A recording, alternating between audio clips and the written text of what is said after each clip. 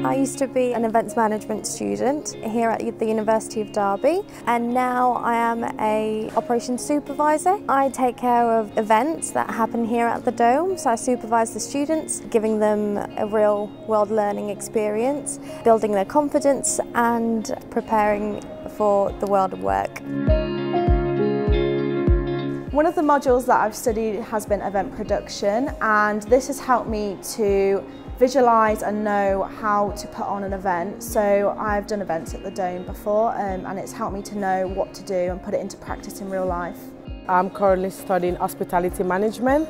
I'm a first year student. Doing hospitality management is one of the most exciting course to do? Hospitality is all about working with people and communicating with people and this is, I think, the perfect environment to meet a lot of amazing people from all over the world.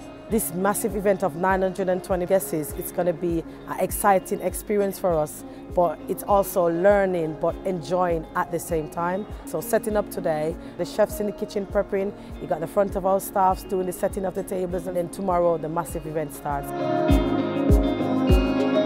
Majority of us are studying to be managers, so we can take that skill and use it out in the working world and becomes better entrepreneurs ourselves and to also manage whatever establishment we go into. My name is Jessica Perkins and I'm studying culinary arts in my first year.